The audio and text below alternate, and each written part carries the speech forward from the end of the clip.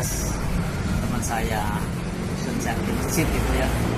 92 sampai sekarang tuh berapa tahun?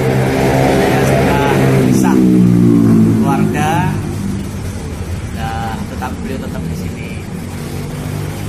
Kemudian ya tadi suaranya sudah luar biasa yang tidak bisa dimiliki orang lain. Masih dari dulu sampai sekarang tetap meskipun kondisi badannya mohon maaf memang beliau kena gula sakit dan uh, kita rasa kasihan memang. Tetapi beliau semangatnya untuk tetap menjadi mahasiswa yang luar biasa dihargai saya kira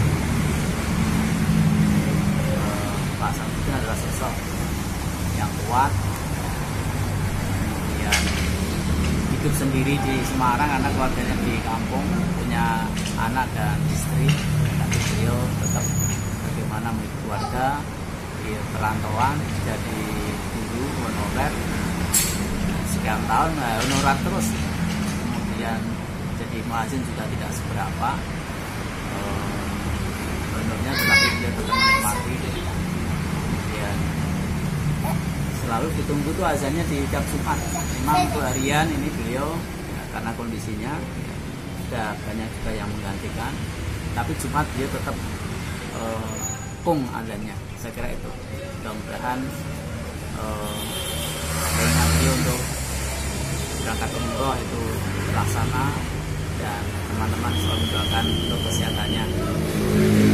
Bisa berangkat ke Mekah dan Timur